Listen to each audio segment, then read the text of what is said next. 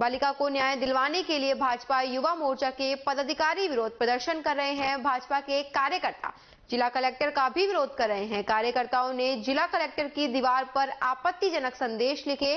कार्यकर्ताओं ने अपने खून से पत्र लिखकर सरकार को भेजे हैं।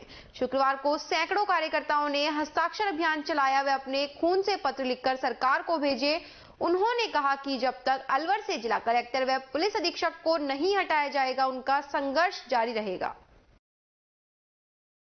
आज सर्व समाज द्वारा मूक बधिर बच्ची के न्याय के लिए जो लगातार धरना चल रहा है शहीद स्मारक पर, हमारे युवा कार्यकर्ता भी उसमें आए हैं और हमने एक सफ़ेद कपड़े पर, जो कि शांति का प्रतीक है, और खून, लाल रंग के खून से लिखा है, खून जो कि क्रांति का प्रतीक है। तो अभी हम शांति से क्रांति की ओर धीरे धीरे आंदोलन जाएगा, क्योंकि ये प्रशासन, ये सरकार बिल्कुल निकम्मी हो चुकी है। हम कार्यकर्ताओं द्वारा जो आवाज़ उठाई जा रही थी, उसको लेकर मुकदमे दर्ज कलेक्टर महोदय ने हमारे ऊपर एक नहीं दो दो एफआईआर करवाई है।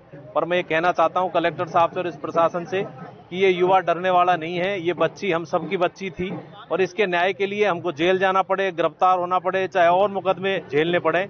हम संघर्ष करेंगे, सर्व समाज के साथ संघर्ष करेंगे। अलवर का युवा तहसील स्तर पर विरोध करेगा, विरोध प्रदर्शन करेगा इस सरकार के खिलाफ। लेकिन जब तक बच्ची को न्याय नहीं मिलता, हम झुकेंगे नहीं, हम डरेंगे नहीं, हम गिरफ्तारियाँ देने के लिए तैयार हैं। जब पुलिस प्रशासन और कलेक्टर साहब कहेंगे, हम वहाँ हाजिर होंगे और गिरफ़्तार होने के लिए तैयार हैं।